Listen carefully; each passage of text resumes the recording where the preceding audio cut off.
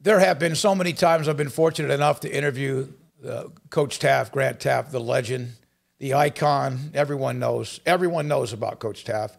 Uh, we've sat down in your house and we've talked about your artifacts, the Indian uh, collection, and all your history of your family. And then, of course, we've talked X's and O's in football. It's great to have you in the studio. You were here with us about a year ago. Yes. The first interview we did. Yes. Things have changed a little bit. I was quite honored. Oh, to tell you the truth, so really, because it was a it was a startup. It was a new new time for you all, you know, and so I, I just really appreciated being on. Armstrong Sims here today uh, as well. Mike Singletary told me that when he was a freshman or sophomore, that when you went to a lot of speaking engagements, of course, you've been to hundreds of them. I mean, why wouldn't people want you to speak at, at various events? That sometimes you would ask him to go with you. Mm-hmm. He thinks that perhaps one of the things that you were trying to do was show him some uh, kind of how to speak in front of people and maybe sure. leadership. And and and he said that it, it it's something he was able to use the rest of his life. Do you remember those times? And was that some of the reasons if you took a mike singletary or anybody with you just so they could kind of see the moment? Absolutely. No that uh, there wasn't any question about it. And uh, and it took with mike mike mike is a great speaker and uh, and he uh, I, I think that he did get some foundational ideas there. It's one thing to show somebody something and let them see it and experience it rather than tell them. It's a different experience. And so that's why I would take Mike with me because I knew he was going to be one of Baylor's great all time players. I knew that early on. Uh, he was uh, uh just unbelievable as a player. So I knew that, and I, I knew that he would be interviewed, and that his background, where he came from, uh, down in Houston, Texas, you know, uh, he probably didn't get a lot of that. So I wanted to prepare him. I never wanted him to in any way be embarrassed, you know, or not do a, a job that he felt proud about. And so I, I knew what he was going to be. And so before he was that, I started training him on his speaking. He came from a broken family. Yes. He said you taught him a lot about a lot of things as far as uh, family, yeah. um, commitment, love, all that stuff as well. That that was one of the things that one time you had a speech, and all of a sudden you couldn't make it, and he's not so sure if you really couldn't make it or you wanted to give him the opportunity, and all of a sudden it was he was up and he was ready for it, but. Yeah was that yeah. because you couldn't make it, or because you felt like it was time for him to deliver a? It was time. It was time. Very good. Yeah, he needed he needed to step out. Well, he remembers that uh, uh, quite a bit. He, he told me he goes he's like he was, he was like you know those eyes he has when he's getting ready to a snap. I think that's probably what he looked like at that time.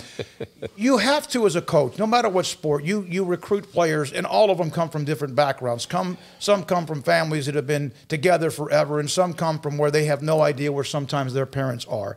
Broken families or really abusive or backgrounds that are so hard.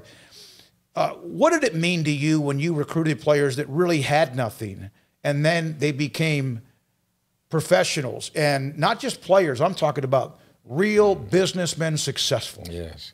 Well, you know, frankly, it's really what, for me, it's all about. Uh, you have to win in my profession to do the things you want to do with young people. You have to keep your job. So it's a it's a double layer. You know, you can go through life trying to help kids and let them grow and mature, but at the same time, to keep your job and do what you want to do, you got to win. Mm-hmm. so. Yeah. So it's it was a unique combination, but uh, I've, I've I've been so blessed to have so many young men that have turned out so well uh, in life as husbands and as fathers and as leaders in their communities and uh, um, just uh, it's just wonderful to see them uh, where they are in life right now. 1978, you guys were three and 7 mm-hmm. had lost five games by nine points. Mm-hmm. Andrew Melontree told me that there was a time during that season. I'm not sure if it was after that or when it was that you had about three or four bad apples on that team. Yeah. And he spoke with you and the leadership, and, and it was time for them to go. Yeah. And was it after a practice when you said it's time for these players to go and there was like a police waiting at the stadium entrance for them to go you remember that wasn't quite that bad, but uh, I, I, did send them on their way. How hard is that? Well, it's hard because you you know you never want to give up on anybody, mm-hmm. uh, and so when you dismiss a player from your squad, uh, you have virtually given up on him. That you're saying I can't do any more, and uh, or you're not allowing me to do any more. And so go out into the world. And I had a letter that uh, was uh, really interesting I had a letter from one of the young men that uh, that happened. And this was about two years ago, hmm. so it's been a lot of time since then. But he was one that I dismissed. and the letter started out by saying, "Coach Teaff, I hated your guts for several years because of what happened." He said, "Then I realized what you were trying to teach me." and I've changed my life. I've, I've uh, everything about me has changed. My whole attitude, my commitment to my family, my commitment to my Lord. Uh, it's all changed, and it goes back to the time that you had to discipline me. And so, you know, those things are hard when you do it, but but if the guy will think about it and understand what took place it can really make a difference in their life. So I think that actually was in the spring after the three and seven season that you addressed them, and and then you guys went on to go to the Peach Bowl and have a successful year. Um, in 1978, you had won that 74 Southwest Conference. Everyone knows the story the miracle on the Brazos, beating Texas, the, the worm, and all that stuff. And there were some maybe people who are getting a little disgruntled. Did you, did you spoil them a little bit? with what you did in 74? Did you feel, did you ever feel a pressure? well, yeah, you know, uh, Baylor hadn't won anything in in 50 years. I know. We, have heard that before yeah. with the basketball. So, you know, so when we we won that, then everybody changed and and and I never will forget a leading administrator, uh, whom I shall not name, uh, told me after uh, that. He said, "Now, coach, uh, now remember they hadn't won anything in 50 years." And so this administrator said, "Well, you know, coach, uh, uh, if you can do that about every four years, that'll be fine." Oh, really? Yes. So from we went from not winning anything to being able to uh, compete every year, but at least win one every four years, championship that, that, was nice of him to, to put that. And you know, but you you 1980, and you were in the mix a few other times. Was there ever a game? Uh, there was a game. Was it fourth down and Neal Jeffrey threw the ball out of bounds? Oh yeah. And yeah. and there are other games you lose. Do you do you remember the losses oh, more sure. than the wins? Uh, you know, I don't. Yeah. Because I've heard that before, yeah. and, and it's like, how do you not remember the great wins? But then again, those are the ones that yeah. sting. Well, I think on the losses, I think they are embedded because if you handle a loss properly as a coach, then you will have made gain even sometimes more than if you won the game. Does that make sense? Mm-hmm. And uh, and so that that's what I, I remember about you know the losing. How could we correct that? What caused it? And now, how can we correct that? And can those that did the lack of responsibility in the first place, can they now find that responsibility that they need to take to win? So those players that you had to dismiss, that dismiss, you went on to the Peach Bowl. Do you feel like that made everybody else realize what? Like, first of all, who the boss was, as if they didn't know that already, but also the accountability factor. No question. It kind of everyone else just kind of became refreshed by that. No question about it. It, it uh, and it, it always is hard because you're dealing with a young life, and uh, so what you hope from that when you uh, or when I expelled uh, a person from our team, I, I told them and I hope them that you will learn from this, and it'll make a difference in your life and you will change uh, the things that need to be changed. And that's the outcome you hope that would happen. Alfred Anderson was a great player at Richfield. Everyone knows him. He was a great player with Baylor, and he was also a heck of an NFL player as well. When he committed to Baylor, he told me a story that Dave Campbell, that Dave Campbell put out, I guess, in the Waco Trib. Alfred Anderson commits to Baylor. Yeah. Had he committed to you? Well, not really. I knew he was going to. Well, he did after that, right? He had no other choice. That's right. Is that just a little bit of Uh, well, you know, he uh, he teases me about that a lot. Mm-hmm. Uh, Alfred does, but uh, you know, I knew that Baylor was a place for him. He, you know, honestly, seriously, he's a wonderful young man. I'm telling you. And uh, you know, he his uh, he was living at home with a single parent at the time, and uh, you, know, he just needed me. He needed Baylor, and so I just made sure I got him. you got? He said after you signed, you walked out the door and you shouted, Yahoo! Like really, really loud. And he said, I was shocked to hear him shout that loud. I turned around and Coach Teaff had this beaming smile on his face. I made the right decision. He knew it was the right decision. I earned my degree, an opportunity to play football, and um, you. Well, That- here, here's the reason I yelled, and I did. That's a true story. Uh, when I got the commitment out of him, Mm-hmm. you know, I walked out the door, and one of my assistants was waiting for me in the car, car, and I couldn't wait to get to the car to tell him, and I just yelled.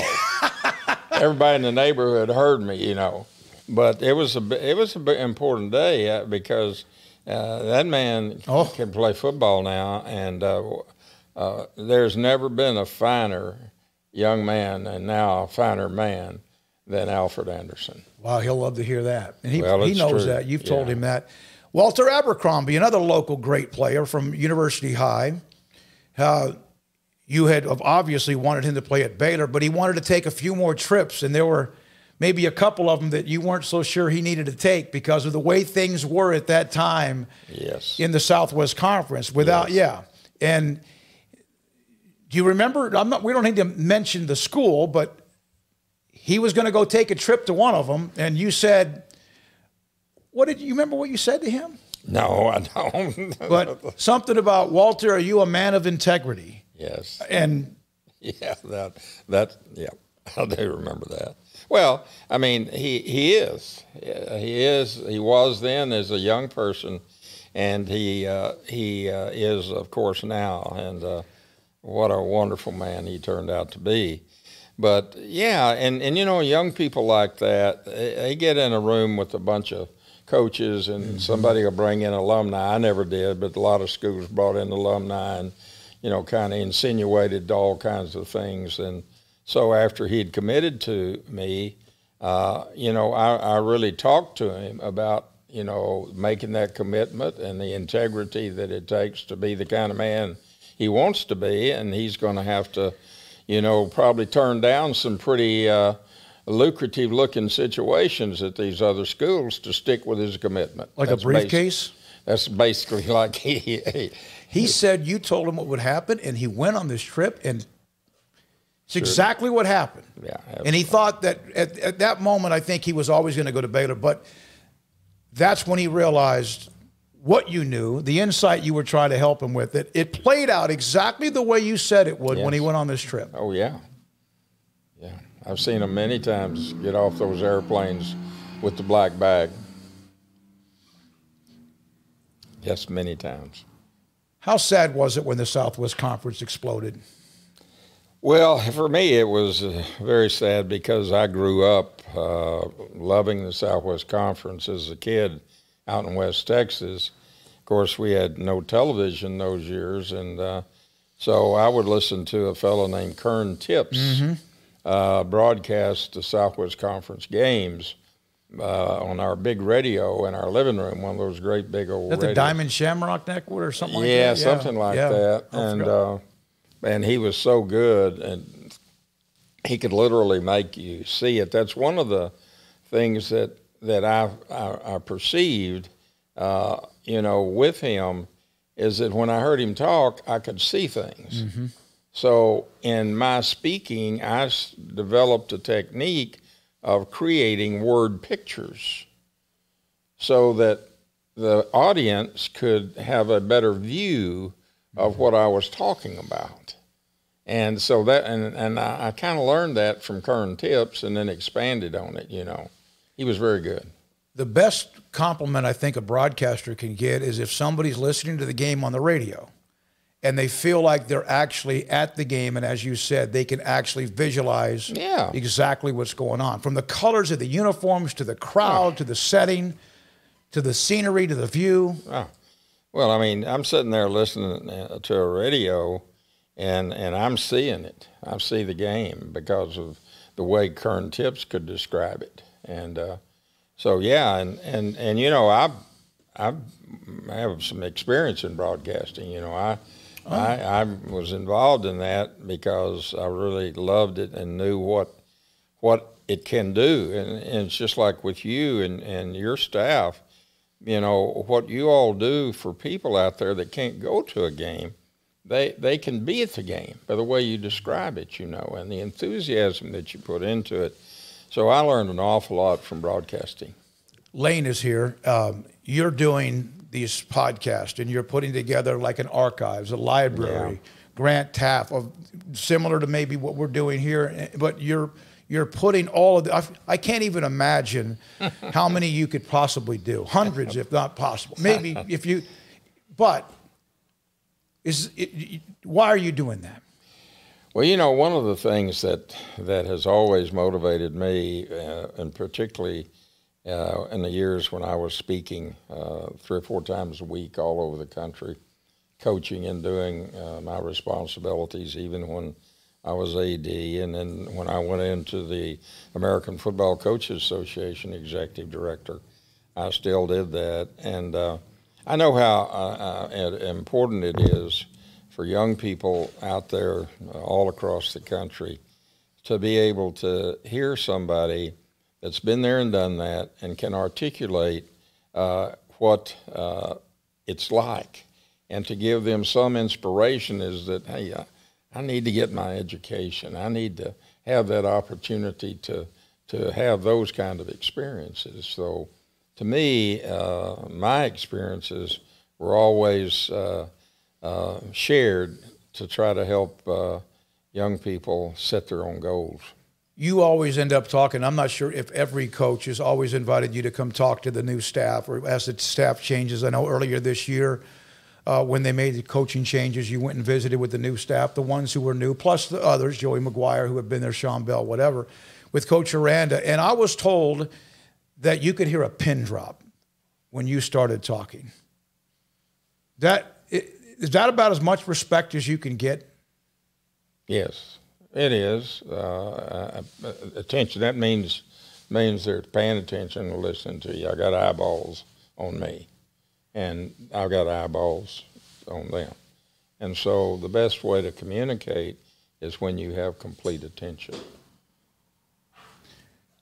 What is the true story about the worm? Well, you you you have time for that? Well, I you know everyone's heard about it, and then I think things grow.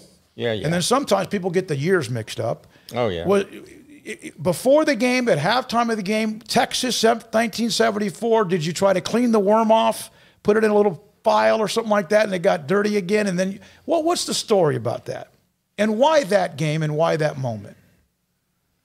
Well, Texas was picked, sure. uh, of course, to beat us. Uh, we were just kind of getting everything together here at Baylor University and Texas was the the, the big dog, uh, you know. Sure. So my goal was to beat big dogs, you know, and uh, so one of the things that I that I found uh, with our players was that they were very attentive to what I had to say and what I did, and uh, that's a real blessing for a coach mm-hmm. to have that. You, so they're not hanging their head or looking up and yeah, they're yeah, paying you don't. Yeah.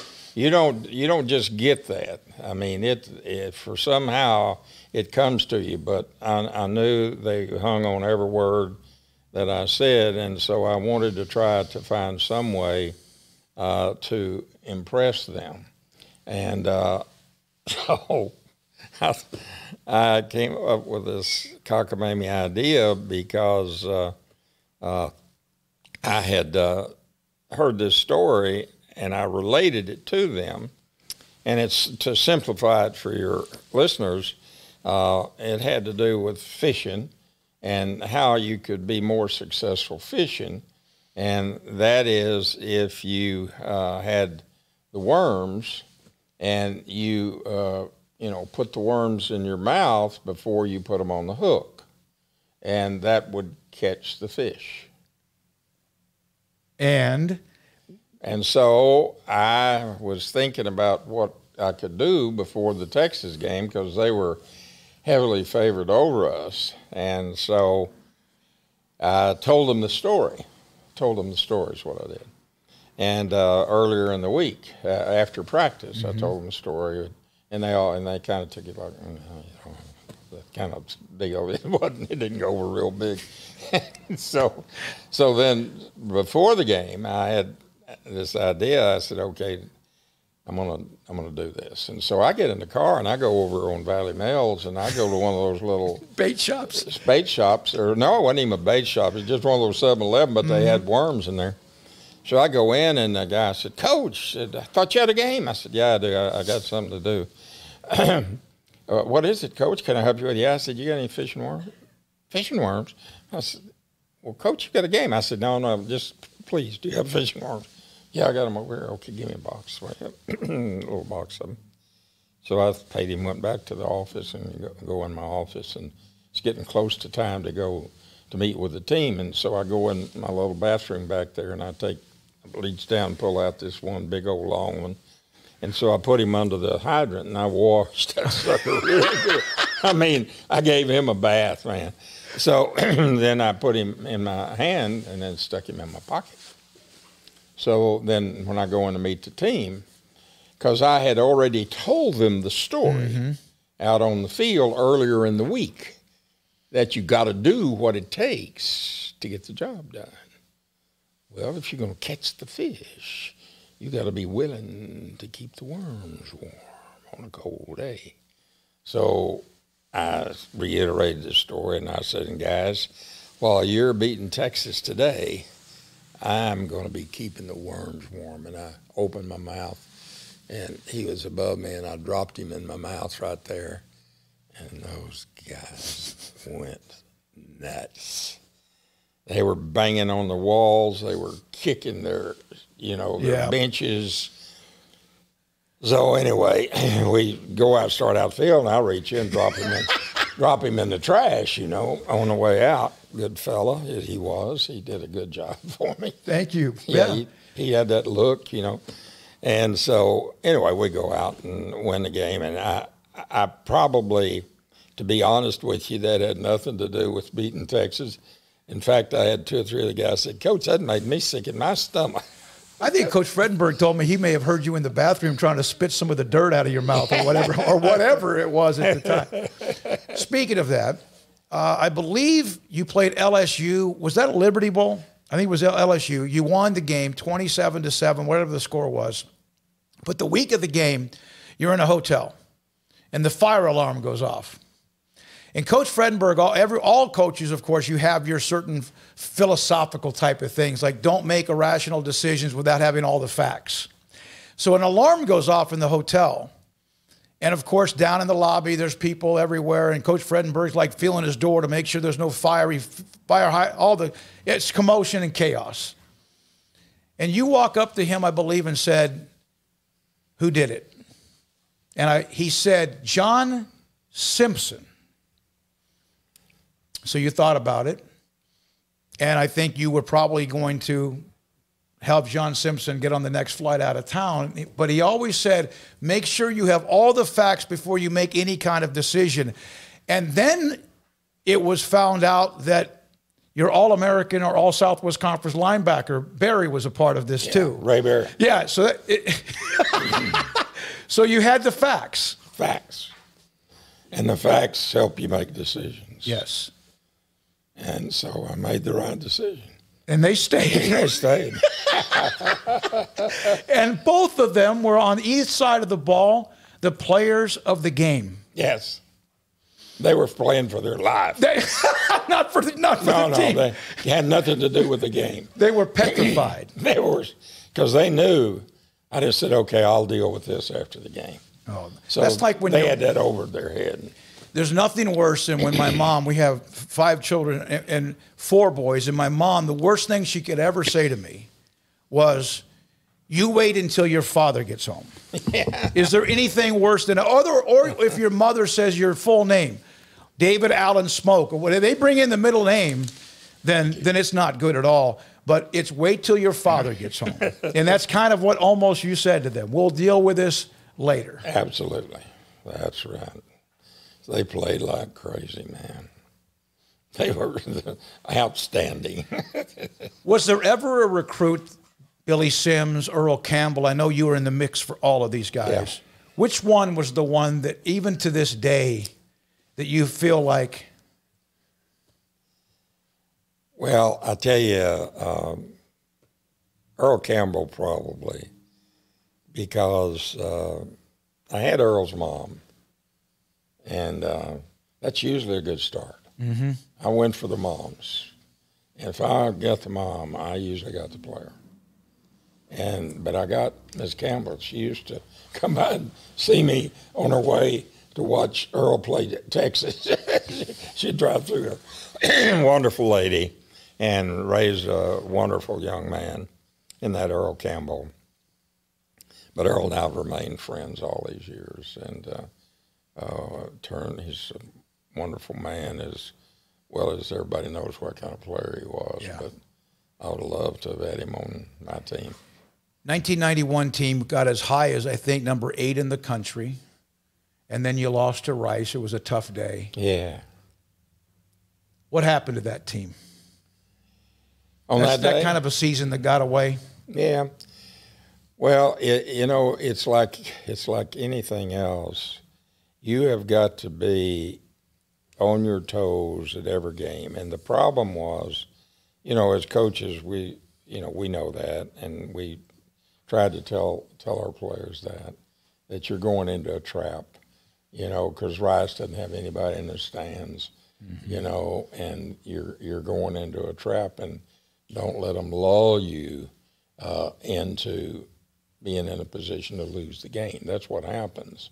You know, you you just get into the game and then you don't do the things you normally do, and all of a sudden, you know, it's seven to seven, and you're going into the late into the third quarter, and you just uh, you, you can see it coming as a coach. Is it more emotional, mental than it is physical? Because physically, you're still the same people you were. Yeah, yeah, yeah. I, I think it's all it's all approach. Number one, they weren't very good, you know, at the time, but they had a good coach, and uh, they had some good players, and they just hadn't played very well. But on this one day, they played lights out, played the best they could play, and so you have to figure that when you're playing a team that's uh, not as good as you are you have to figure that there's going to be that day when they rise to the occasion. I had many teams do that. Many teams that were uh, uh, sub to other teams in the conference, and we'd rise up and beat them. You know, and so I, I, I know all about that mentality. And so, you know, we we kind of walked into a trap. Yeah, and it kind of just started a little bit of a slide. Plus, you started playing good people too. I mean, you were pretty good. Uh, how many times can you, in, in baseball terms, if the team's in a slump, the manager comes in and clears off the buffet and has one of those talks with the players or whatever, they close the clubhouse. How many times can you do that before players stop listening? In football, you have 11, maybe 12, or now even 14 games, 11 or 12 in the regular season. Can, can you, one, it has to count. That's got to count. One. Other, other than that, it's that players start kind of looking at each other. Okay, here we go. So you know, it, it- that's that's the the toughness of, of, of coaching, particularly on a collegiate level, where they're more mature than they were in a high school, but they're still not totally grown men. You know, they they may be physically grown, but they still are not totally mature, you know, as college students. So, you know, you just uh, you have to be very, very cautious about how you deal with them, and and uh, I, I I I relied so much, uh, smoke, on my players, my leadership. I I really worked hard at developing leadership that was there among the players that could be transmitting my concepts of how we're going to win. Scott Drew had a bunch of experienced fifth year senior Mark Vital, MaCio Yeah. Teague. He had a lot of, and I think that's what allowed him. Sometimes, like Jerome Tang or Scott Drew would say, or whoever, Coach Jake, they didn't have to always be the ones that were saying things. They had a guys that, in, internally, their leadership was so strong and experienced that it got through the pause, the post pause slump, and then without ever getting too high or too low, although it got to a point they were a little bit edgy. Yeah. What did that mean? Honestly, the 74 Southwest Conference beating Texas on your way to the Southwest Conference title. What did that mean to Baylor this past week? Oh, the basketball this Yes, year? sir. Oh, that uh, it, in many ways it's uh, similar to the '74 because the '74 changed everything. It changed the giving. It changed the mentality of the media. It changed the mentality uh, and the outlook of the high school coaches and the players that we were trying to recruit. It changed the concept of the giving uh, the giving to the university just exploded. You know, I mean, talking about buildings that are built around here, a lot of it came out of uh, people that had good feelings about uh, being able to compete uh, on the athletic field for, for Baylor University. And same way with this year, uh, with Scott taking it all the way and winning a national championship.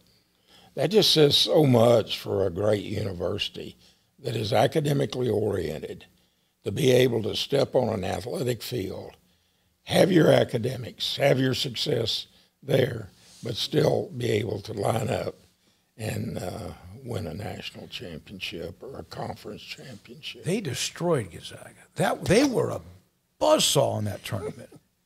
They, I thought it all started with what they did to Villanova in the second half. They were down at halftime. They weren't quite yet set, and then all of a sudden they made a great team or a team that's got a lot of tradition look very average or bad, and it just seemed like from that point on it was a landslide for them that they were.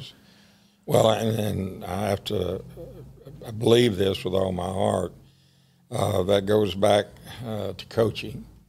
Uh, certainly, you have to have the athletes to do it, and they that's coaching. They recruited those athletes. The staff did, and then they have developed them and trained them. And then there is a mentality that a head coach can bring in to a, an environment, whether it's on a football field uh, or whether it's a- at a tournament or an individual game or a track meet. Uh, we see this through the years with Clyde Hart.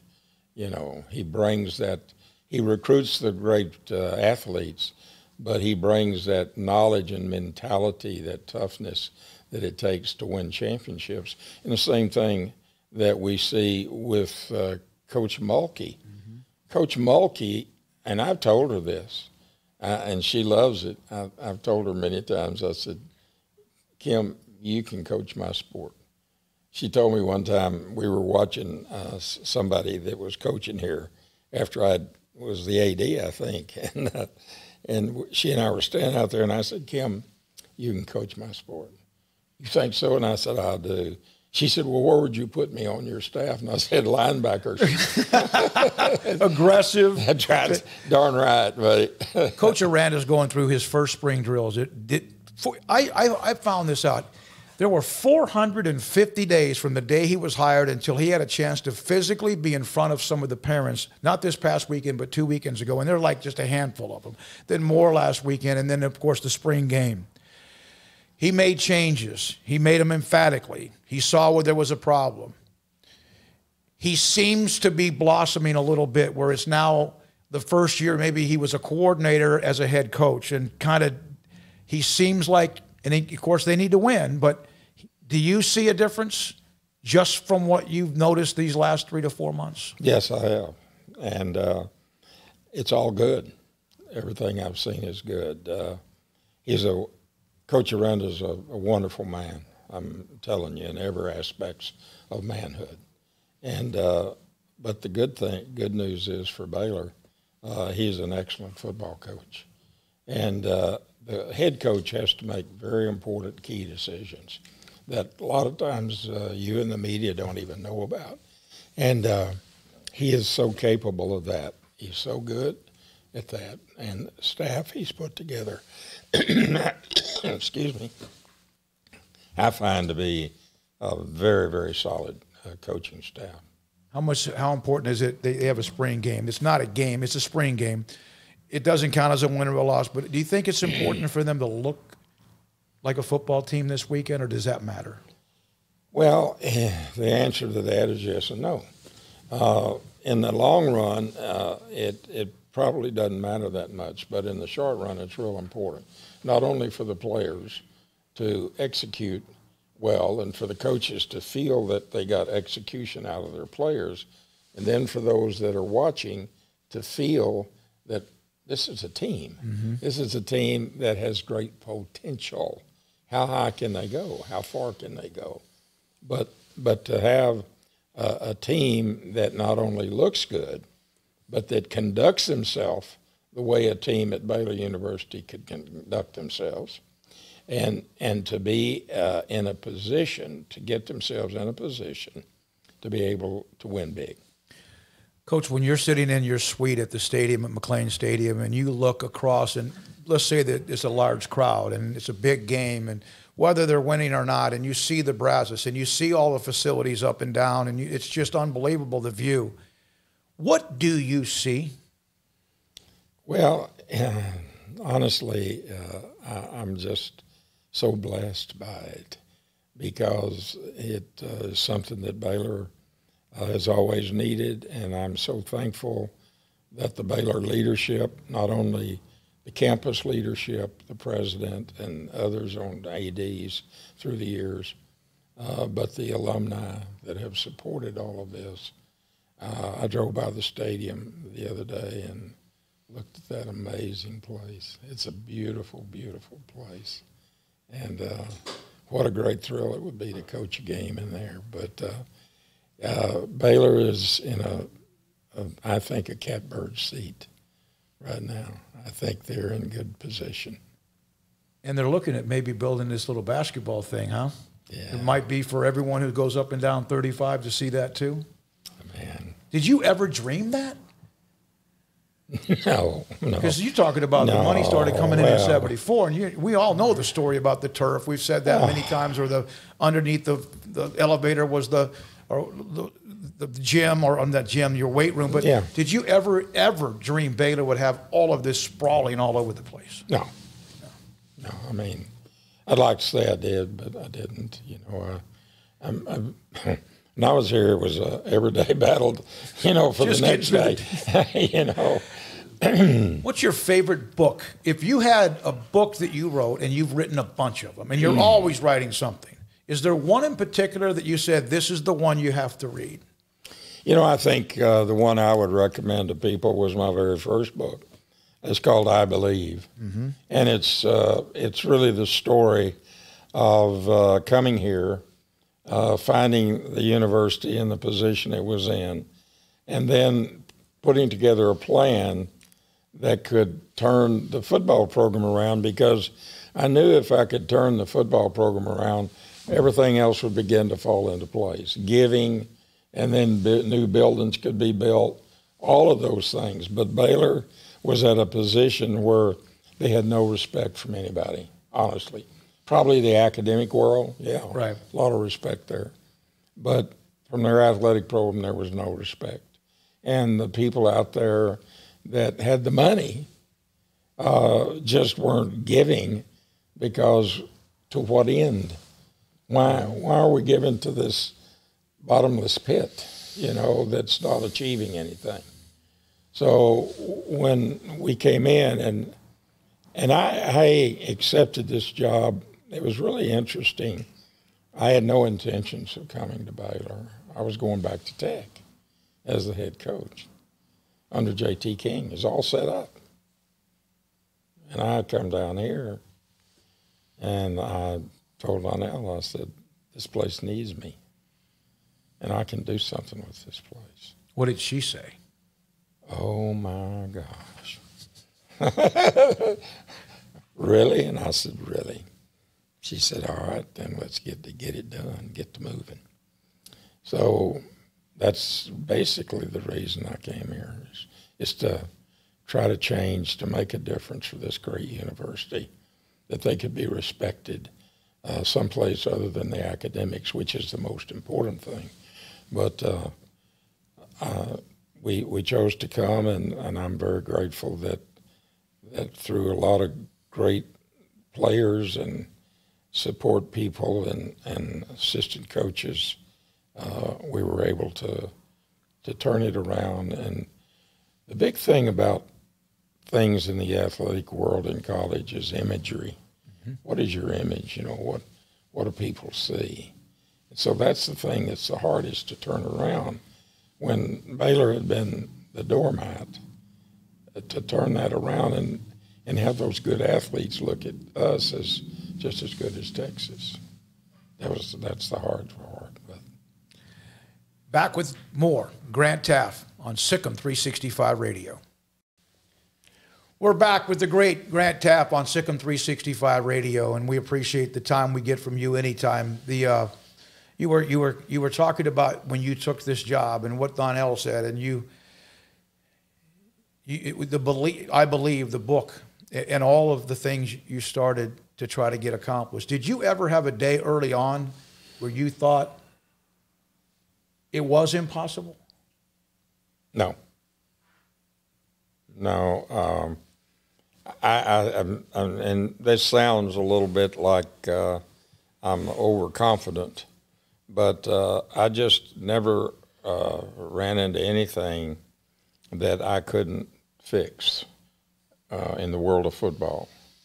Uh, I took over Angelo State. I'd coached at Little McMurry University. I'd coached track successfully. Mm-hmm. And the only thing I knew about track when I became the head track coach at McMurry was turn left and hurry back as fast as you can. Yes, get here quick.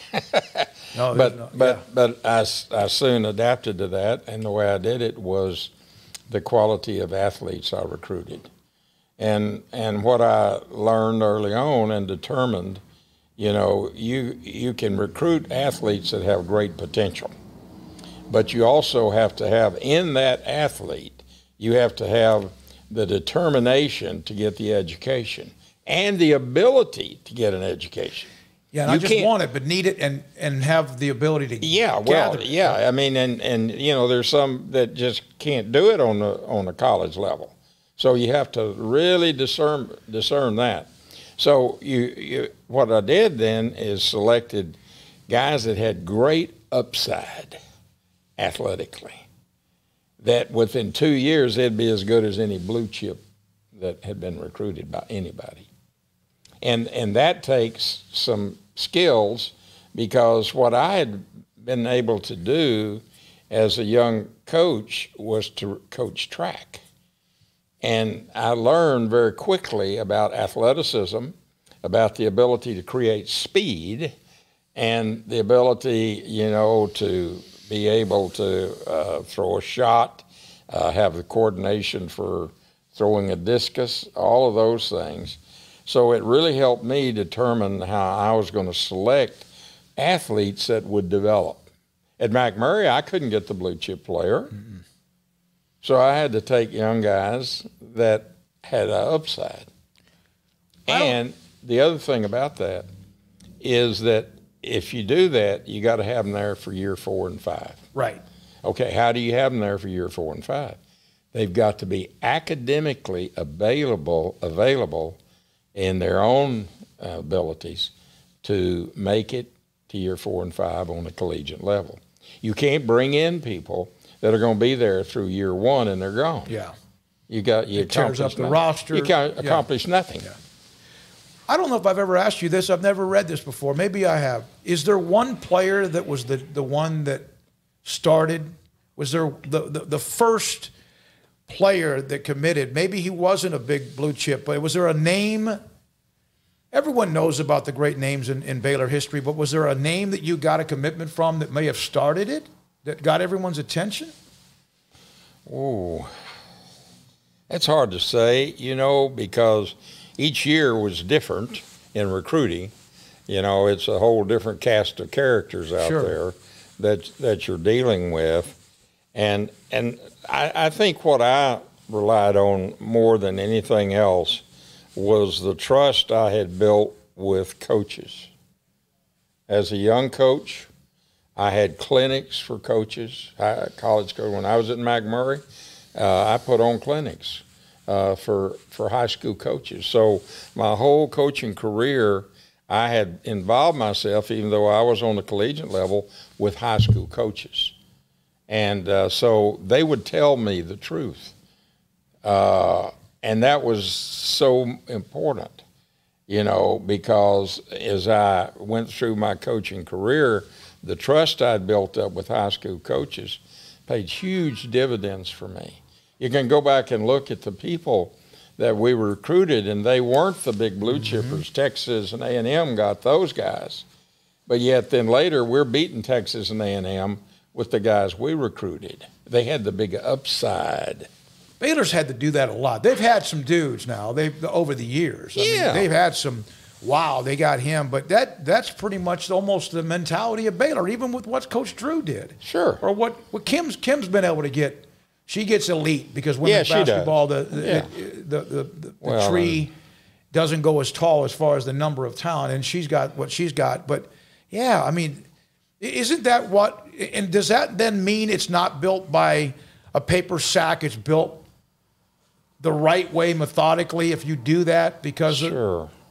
Absolutely, Smoak. You know, uh, you, you just watch any great program, I- i.e., take Kim's program here at Baylor, and you watch how and who, how and who she recruits, and then how those become elite college players, elite college players.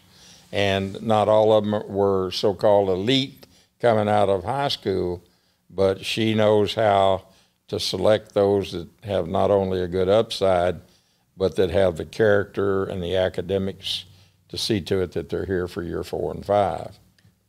That leads to a question. Robin Jones, who was at the pro, uh, practice on Saturday, he brought up a comment that back in 1974, he almost he missed a block, blew an assignment, and a, a punt almost got blocked. He came to the sideline, and you showed him. You didn't yell at him. You showed him what he did wrong. And like then later in the game, there was another punt, and he was I don't know if he was the up back or whatever, and he perfectly blocked two guys. I think maybe in Iowa State. I can't remember the, if he told me the game. But when he came to the sideline, you said to him, that was perfect, exactly the way to do it. You're going to be a great player. He's always remembered that. That's 47 years ago, right? And what does it mean to a coach? That case, one case, hundreds of cases when a player does listen and then he does make a play because he did, and you see him smile. Yeah, it's coaching. That's what coaching's about.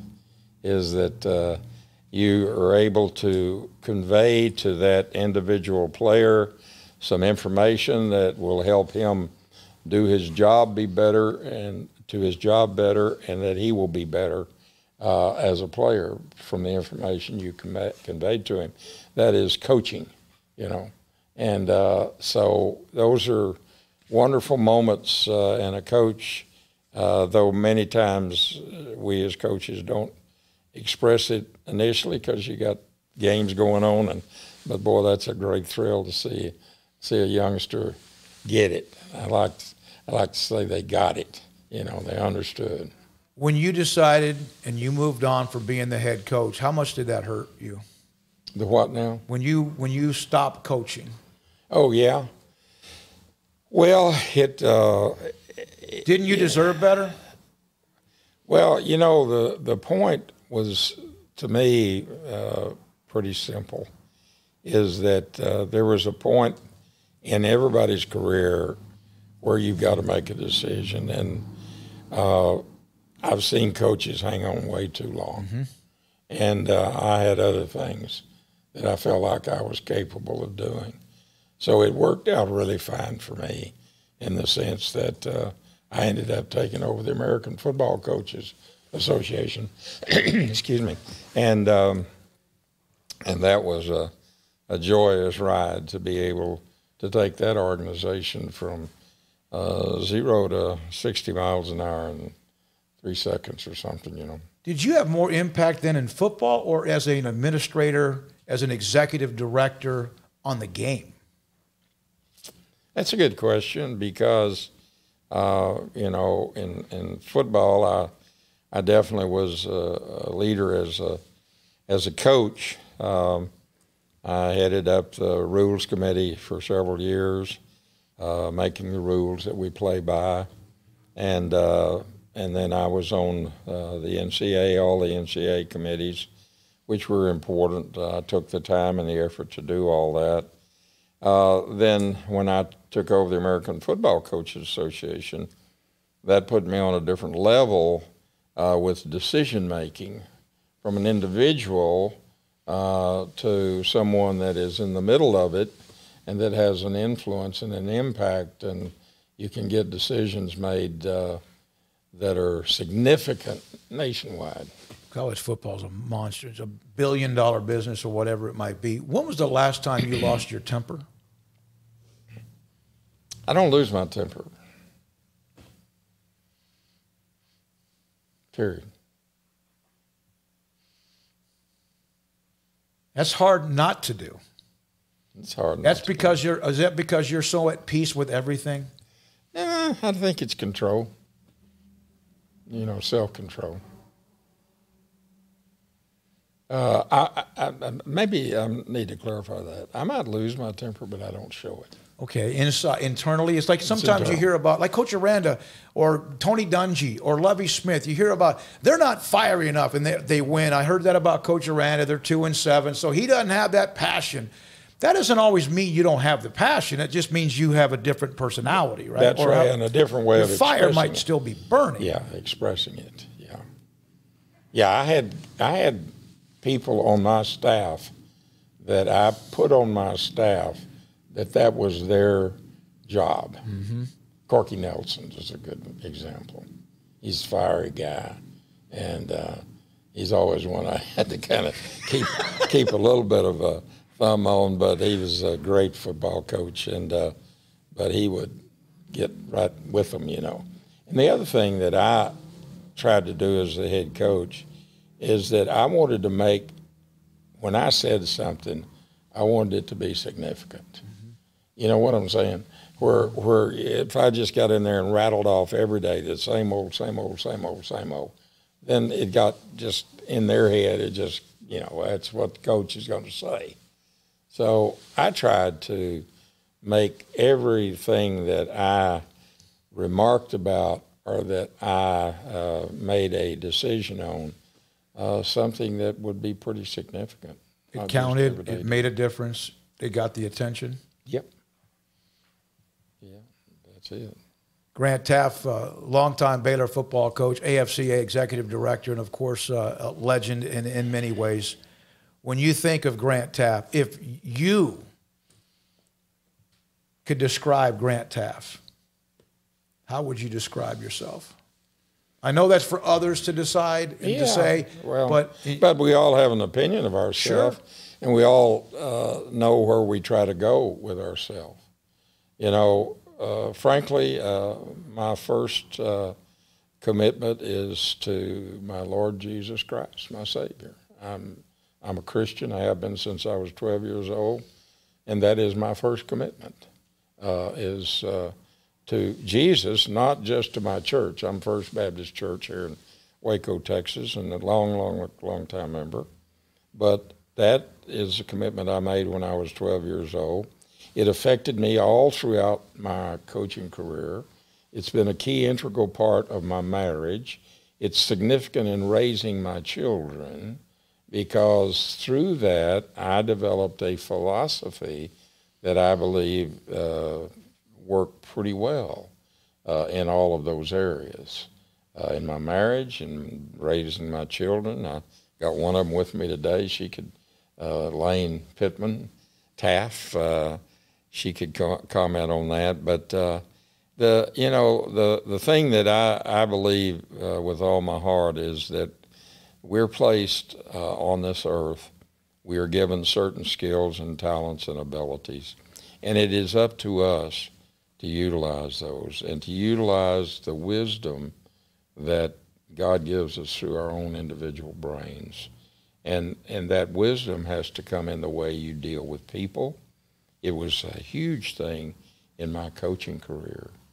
Is uh, it was just almost innate that somehow I knew how to deal with players, and that was a big thing in my coaching. Is individual players how to how to deal with them and the issues that they had.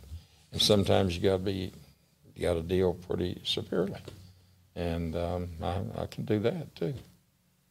I want to wrap it up with this, and thanks for your time. As a someone who sent me a note, he knew I was going to have a chance to visit with you. Is that people, you know, do you like being idolized? Is that is, is you know, it, that's I've never even thought about that. I don't he said that I absolutely worship and idolize Coach Teaff. Wow. Well, I, you know, I, I, that's just kind of foreign to me. I, I like for people to respect me. Mm-hmm. I like for my former players uh, to like me and care about me. And the word love is okay. Uh, I used it. Uh, I used it sort of as a bludgeon, uh, you know, uh, with my players. You know, when I when I first started telling my players I love them, they were like, oh, "What?" Oh, yeah. You know, but then they realized you through your actions, you know, you determine uh, if you really love somebody. It's with your own family and with your wife. You know, you can say the word "I love you," but what are your actions? How do you express your daily involvement with either your athletes or your family or your business? or whatever it might be. And that is the telltale story. And the story with Coach Teaff, man, thanks a lot, buddy. Appreciate it. Thank you so much. Thank you, Lane. Appreciate you. Armstrong Sims. I'm David Smoak with Grant Teaff. We could talk forever. Sic 'em 365 Radio.